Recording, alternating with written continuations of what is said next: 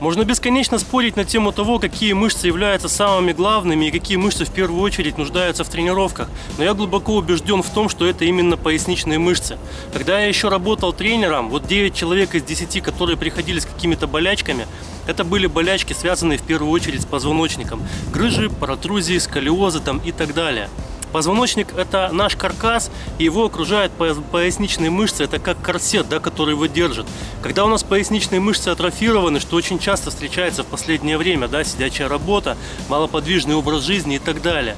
Любая нагрузка, которая ложится на спину, она сразу идет на позвоночник, потому что поясничные мышцы, они просто не могут ее держать, они атрофированы. И эта проблема решается довольно просто укреплением низа спины, то есть укреплением поясничных мышц. Когда вы укрепляете поясничные мышцы, вы просто значительно повышаете уровень своего здоровья, вы а, избавляетесь от основных болячек, точнее не избавляетесь, а проводите профилактику вот этих вот современных болячек, которые встречаются у людей уже после 25, после 30 лет в современном мире. Поясничные мышцы могут тренироваться как в тренажерном зале, так и в домашних условиях. В тренажерном зале основным упражнением будет гиперэкстензия, а в домашних условиях одним из самых распространенных и эффективных упражнений является планка. Когда вы встаете в упор на локте и держите свое тело в статике, вы напрягаете практически все мышцы тела, и ваши мышцы поясницы выполняют статическую функцию. Это упражнение можно немного усложнить, поочередно поднимая ноги и выполняя движения вверх и вниз.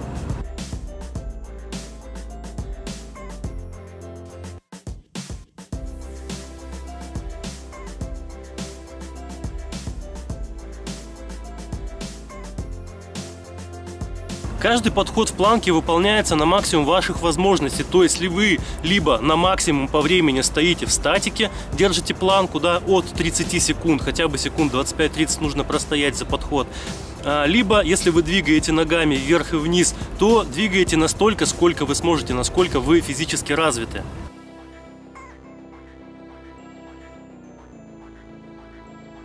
Еще одним невероятно эффективным упражнением, которое максимально включает в работу поясничные мышцы и мышцы пресса, а, является выполнение упражнений со специальным роликом.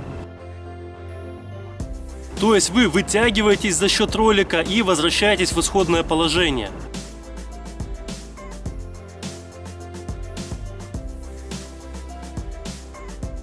Для выполнения этого упражнения нужно иметь уже хотя бы какую-то физическую подготовку. Во-первых, перед ним нужно очень хорошо размяться. если вы ранее его не выполняли, то начинайте с сокращенной амплитуды.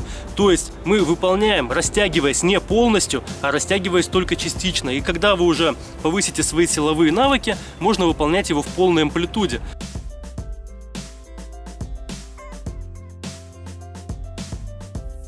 Это очень сильное упражнение, но каждое сильное упражнение, оно также может быть травмоопасным. Если ваши мышцы спины атрофированы, да, то у вас нагрузка может лечь на позвоночник, и вы можете травмироваться. Поэтому начинаем максимально размявшись, начинаем аккуратно и осторожно, без резких движений. Выполняя такие незамысловатые упражнения в домашних условиях, тренируя и поясничные мышцы, и мышцы пресса, и мышцы других более крупных групп, мы значительно повышаем уровень своего физического здоровья, гормональные выбросы, продляем себе жизнь и в целом лучше себя чувствуем и лучше выглядим. Другие упражнения на различные мышечные группы, как с использованием гантель, так и без них, в домашних условиях и в тренажерном зале. Смотрите на моем сайте по ссылке в описании к видео. Под видео вы найдете ссылки, переходите, смотрите, тренируетесь и становитесь лучше. Я желаю вам всем здоровья, успехов в любых начинаниях и в спорте, и в здоровье, и в душевном благополучии. С вами был Александр Добромиль. Пока!